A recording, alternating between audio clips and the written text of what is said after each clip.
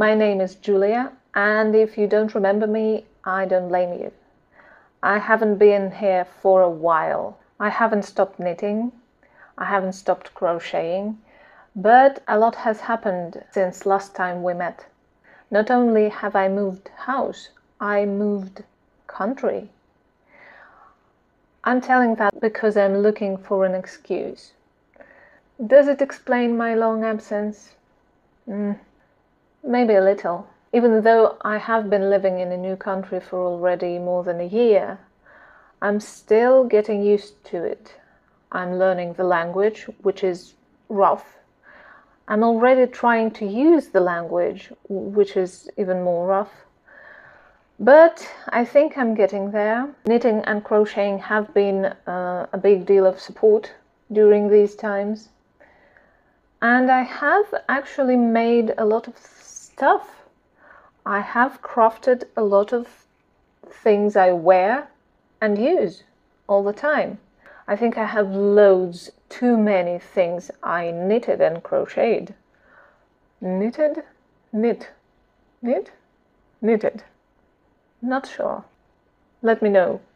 And I would really love to catch up. I would really love to share it with you. First off, I had a major Harry Potter phase this Christmas. So we have a Weasley sweater right here. There were weeks when I wore it every single day. Then I took a break and then I would wear it again for every single every single day for a week for two weeks. It's a pattern by um, Rita Khor, K H O R, and uh, I have made some changes into it but not because of the pattern, because of the yarn that I used. It was, I was like off the gauge, really off the gauge, and I didn't have a different yarn and I didn't have the energy to find a different yarn. So I had to make it work. That's why I made some changes. But the pattern is very understandable. It's very it's very detailed.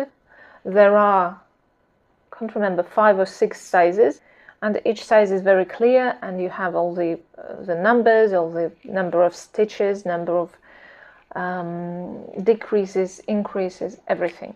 And in the end you have the patterns for all the alphabet.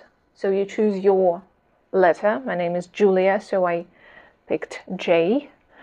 And all the other letters are there. So you just pick and she has a uh, an instruction how to embroider this letter either. I think I made mine like in an uh, in a uh, intarsia technique. Yes, I did because I have a thick yarn and the second layer of yarn would be too much here. You can do it as she recommends. Um, embroider it. It's like double stitching. Forgot what it's called. I think it's double stitching. With another color. So I'm Gryffindor. It's all official. I took a test online. So, and you know what? I want to make uh, at least four of them of each house. And I want to make one for every member of my family. And I wish I do it in different yarns, in different gauges, in different colors. Maybe even I'm watching, I was rewatching the films and they are um, like Ron and Harry have them not in the colors of uh, their houses, their house, they have the same house, but just, you know, brown and beige, something like that. I think I want that too. Okay, and I made myself a Gryffindor scarf. To be honest, I can't remember if I made it before or after the sweater. I think I made it before, but probably I started wearing it uh, like together. Maybe not. I, I, mm, I'm not sure. But they are both gorgeous. This is even softer than the sweater and I've been feeling very Christmassy this year. And during this time, you know, it's perfect. Okay, this is my Harry Potter portion of the video. The scarf has no pattern. I just made it well, like uh, one by one rib and stripes. And the the Weasley sweater again, it's by Rita Khor, K H O R. She's on Ravelry and she has her own website and all the social media. I follow her on TikTok. That's how I found out about this sweater. And she, by the way, makes them. You can order the sweater if you don't want to knit it. You can buy the whole sweater. She makes them in different colors. So moving on, the next thing is the next, you know, the next phase is Halloween phase. So before I fell into uh, Harry Potter hole, I was all about Halloween. And this is actually my design. It's called uh, the Spooky Season Scarf. And I designed it after moving and I'm pretty proud of it.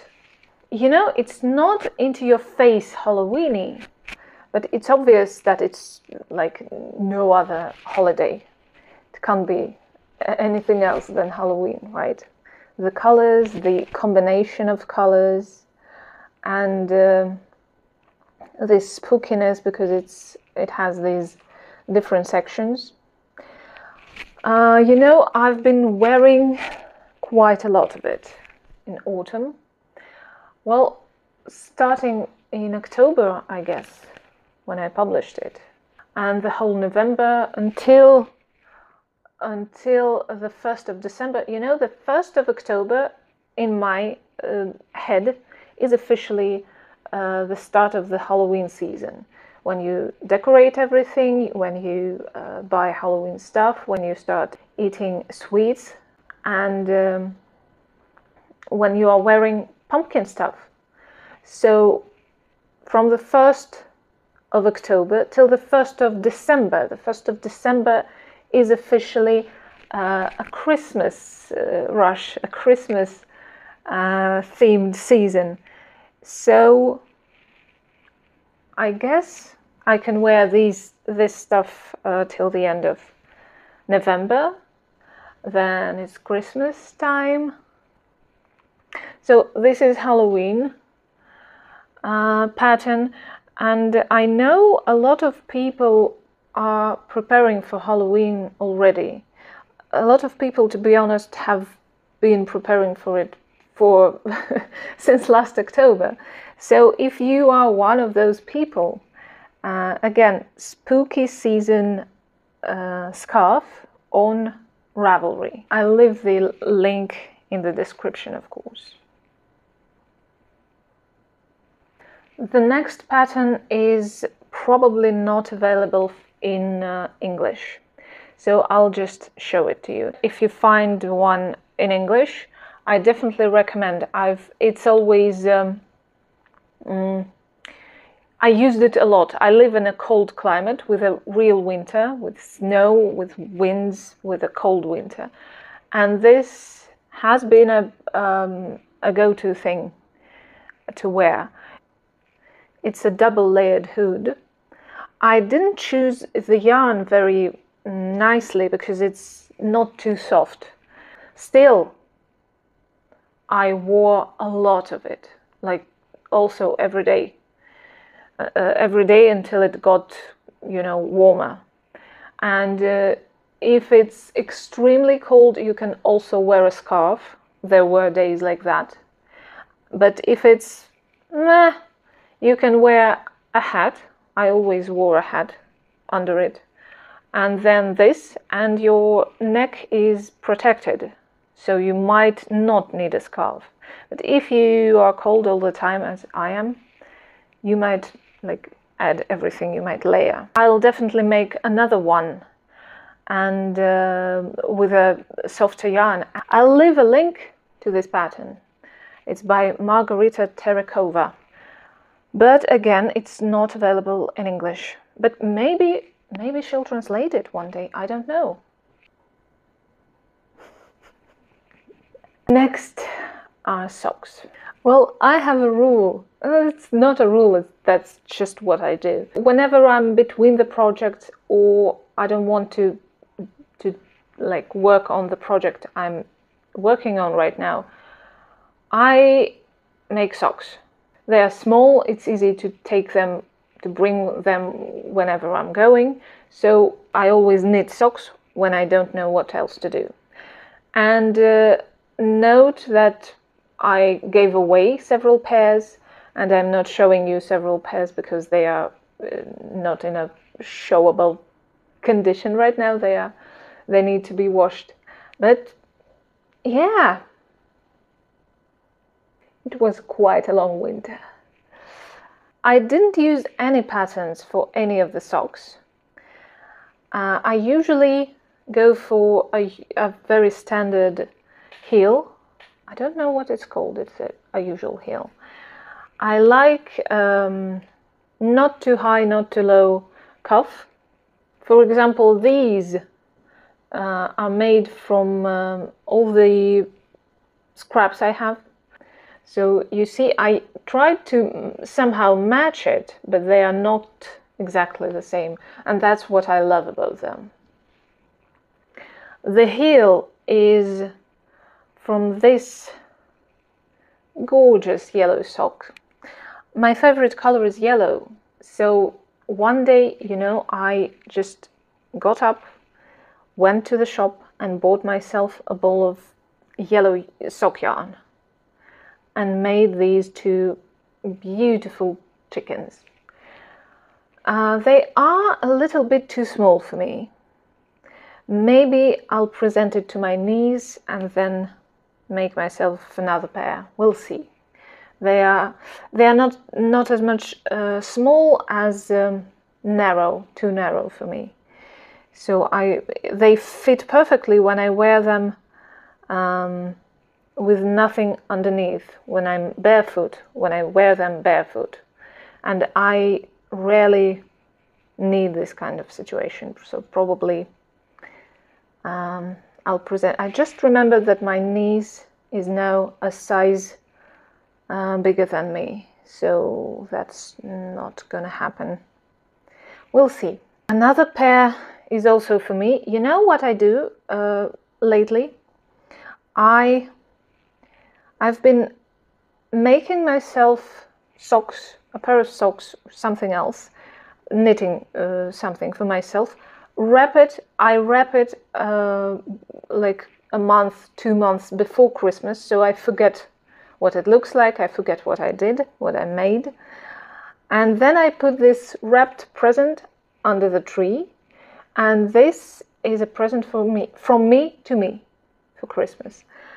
I I'm thinking this year I also I made a present to myself. I bought a present to myself uh, for my birthday, and it felt quite nice too. So maybe there's a new tradition starting. Again, I'm not matching the stripes. The heel is your basic heel, and um, I love them. I love I I'm not a fan uh, when the socks are like red and green, one red and one green. But I am a fan for myself. I am a fan when they are a little mismatched. I love different socks on other people though. These are, I made these red, uh, red and white socks uh, for my relatives. This is the yarn left so I bought another bowl of yarn, this four or five shades of grey, and matched them with, mixed them with this red, red cuff, red heel, red toe. It's fun. I made a TikTok video uh, for these um, socks, and when I took this this video, I put them on snow, and there was uh, the new white snow layer of snow uh, on this day, and they were they were on the snow, and these bright uh, details and this greys on the white snow. It looked amazing. I'm kind of, when I remember that, I kind of want some winter. But not yet. Let's enjoy the summer. The next pair is, you know what? I saw them and I remember that I have one more pair. It's just not blocked yet. And I remembered it because it's kind of a, pride flag colored, but not quite. But I have a real rainbow. Give me a minute, I'll get them. Look at them. They are they look like a celebration. And I made them in June. I feel like these two pairs are like I can probably give them as a present to a couple. They're nice. Again, not uh, exactly matched, but you know the the stripes are all the same the same length, uh, the same. Uh, I used the same yarn, and uh, here I actually made them using uh, pulling yarn from different ends. You see, yellow, green, blue, so on, and here yellow, green, blue, and so on up. So there there are different um, directions. I love just looking at them. Nice. Okay, and the last pair. It was the first. It was the first, actually, not only sock. It was the first item I made when I moved to a new country. I, in my head, I call them uh, Luna Lovegood socks because they are, their colors are kind of a little crazy, a little they the the um, placing of the stripes and different color of stripes remind me of of their um, you know boho used secondhand um, patches uh, on their clothes, something like that. I love them. They are a little bit thicker than a usual uh, sock yarn, and I wear them at home when it's cold in winter. Okay, I think we are done with the knitting part. All the other things I have are crocheted. First of all, this popular design on Pinterest. I just couldn't. I saw it and I, I knew I had to have it. Look at that. That's a that's a cat's bottom. That's a cat's bottom that you can place your mug onto. How cute is that? I uh, I uh, duh. No pattern. Again, I just made a, uh, eight single crochets into the ring, and then uh, twice as much double crochets. Then the next row, one single uh, one double crochet, two double crochets in the same into the same double crochet, and then next is two double crochets, two double crochets into the same stitch, and so on and I make it like four, one, two, three rows, uh, four rows, one, two, three, four rows. Single crocheted um, feet, paws, and single crocheted tail. All the other ones are very used right now, especially this black one. The white cat, another kind of brown cat. This one is new, that's why it's the best looking uh, cat's bottom in my collection. Another one of my own designs a tarot card deck holder. It's just a sack where I keep my tarot card um, deck. I'm still not sure if I like to keep them uh, just like that, a deck in the sack. I think this is the idea. It's mm, more more useful, more convenient this way. But I I still haven't thrown away the box. By the way, it's a very cute deck, puppy tarot. I have been using it for the last maybe a month. It makes it easier to use uh, to use the deck you know, I'm one of those people who remembers, oh, I have a tarot deck. starts using it every day for two or three days and then forgets it for, I don't know, for a month. So when they are in this sack, when they are somewhere on my desk, it's easier to just grab them and pick one. It's also um, good to take them somewhere because they are not um, being exposed to your keys and telephones and whatever is in your um, backpack, in my case, or a bag or a purse. So I'm happy with it. I'm happy with it. I'm not happy with the way I'm using tarot cards. I always forget about them. but the bag, the holder is very nice. And uh, if you want to make uh, one of them, there are three options. The pattern gives you three bags, three options of uh, a tarot holder. So it's buy one, get three kind of thing. The last portion of, uh, of my crafting is very light summer crochet. I don't know about you, but for me, crochet is more of a summer craft and knitting is more of a winter craft. And I got into kind of serious, more um, less childish crochet when my aunt presented me with this German magazine, the whole magazine of doilies. And now, when I found it again, I understood that I've made maybe half, maybe even more than a half of them, because you know I was 11 probably, and all I had was this magazine, and maybe another, maybe I had two magazines, and one was, uh, and this was nice, so I used it all the time. And uh, now I'm into doilies again, so I chose another one. This is the one I'm making,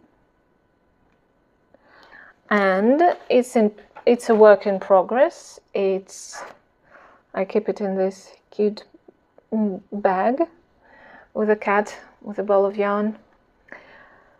So I'm using this very fine cotton thread. It's like cotton cotton like I used when I was a child. And uh, a two millimeter crochet hook, my favorite um, clover one, two millimeter and I've made uh, I've made quite a lot of progress actually. I'm sorry it's a little bit wrinkled, but you see all the petals are done.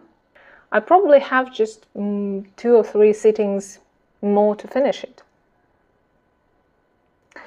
So I don't know why, maybe it's my memories, but this makes me happy. Making it even though I don't have a table to put it on and I don't know how I'm going, going to use it. Well, still, still, I'm very happy with it. So nice, so cute, so cozy. It comforts me. And another doily, you can see a, a theme here, right? Another doily is also for Halloween. How cute is that? I'm sorry again, it's not blocked. I, I just finished it. How cute is that? It's the same yarn, it's just uh, it's cotton, it's 100% cotton. Yes, mercerized cotton. That's it, nothing else. And it's a Halloween doily. The pattern is Boo! exclamation point by Marsha Glasner. It's free on Ravelry, and it's a quite a fast crochet. And I think it depends. Uh, I have a very uh, dark gray table in my kitchen, so I thought a white ghost should be uh, should look very uh, ghosty on it. If you have a white table, probably you will make a, a black doily uh, right? Black ghosts look scary enough, I think, right? You can make it orange just because it's Halloween. You can make it like different pale shades of mm, anything. Not white, but pale blue, pale uh, purple, I don't know, pale pink, because, or maybe even pale uh, melange, pale variety of colors, so they change. It's very ghosty also, right? So they are quite easy and quite fun to make. I can imagine how it brightens up the place. Can you imagine having these ghosts and uh, a bowl of sweets on them? Especially if the sweets are also Halloween themed. They are not too scary, they are cute, they are cozy. Nice. I know I told you this was the last one, but I can't not share with you. After a very long time without sewing, I think I could sew again. And that's why I took all my old flannel shirts and turned them into a tote bag. Inside you can see my former denim dress and now they are all known as my new beach bag. I put my towel, a book, a swimsuit here and I throw it on my bicycle. And when I made it, I understood that some of the t-shirt, some of the shirts, some of the short pieces were left so I made a little bit of scrunchies. This is my dress again. I put labels on some of them just because I didn't want to waste them. Another shirt, another shirt with a label and amount of fingers. This is a dress. This is the previous dress. Dress again. This is another shirt with a label. And this is the last one. I think I need some friends to present some of them because I honestly haven't got enough hair, first of all, and enough outfits to wear them all. And uh, I already have more prepared. I was just tired yesterday and couldn't make more. I was it was evening already. So this kind of has Christmas written all over it. So maybe they will be my Christmas scrunchies and my Christmas presents to my friends, to me, first of all. I had uh, a business that that was unsuccessful for for a while, a sewing business and after it, after we finished it, my partner and I, I couldn't make myself sew for a long, long time. And now I'm very happy because uh, almost every Monday, it's my kind of a free day.